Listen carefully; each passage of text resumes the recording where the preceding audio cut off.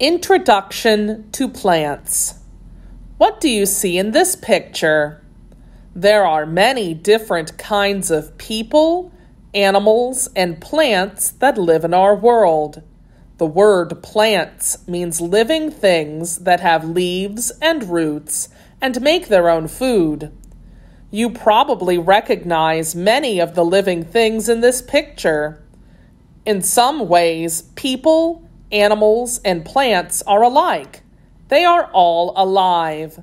They need food, water, and air to grow and stay alive.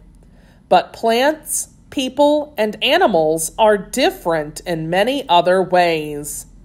Unlike animals and people, plants do not make sounds and they cannot move from one place to another. Plants need four basic things in order to live and grow food, water, air, and light. If a plant has these things, then it can survive, even in a little crack in the sidewalk. The yellow flowering plant in this picture is called a dandelion. A few weeks ago, a tiny dandelion seed floated through the air and landed in this crack, where there was just enough soil for it to begin to grow. Soil is the top layer of dirt where plants can grow. This dandelion gets plenty of sun here in the sidewalk, and it also gets plenty of air, water, and nutrients. Nutrients are like the vitamins you get from your food. This shady forest is home to many different types of plants, from the tallest tree to the tiniest flower. A forest is a large area of land where many trees grow close together.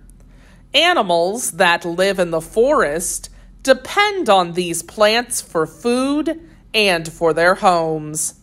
This forest is just one environment or place where living things live, of many on this earth. This is another type of forest. There are some major differences between the colors and shapes of the leaves on these trees and the leaves on the trees in the last picture. In a later lesson, you will learn about two different types of trees. This environment looks very different from the forests we saw in the last images. All plants need food, water, air, and light, but not every place in the world has exactly the same amount of food, water, air, or light. This is a desert where it is hot and dry all year round. Plants that grow here, such as this cactus, have adapted to a life in sandy soil with very little rainfall beneath the blazing hot sun. That tough little dandelion and the trees you saw earlier would wither and die if you tried to plant them here. And the cactus in this desert would not be able to live in either the sidewalk crack or the forest. Different types of plants grow in different environments or places. This picture shows an underwater environment. Fish may be the first things that come to mind when you think about underwater life, but there are plants down there too. Underwater plants need the same things other plants need, including food, water, air, and light.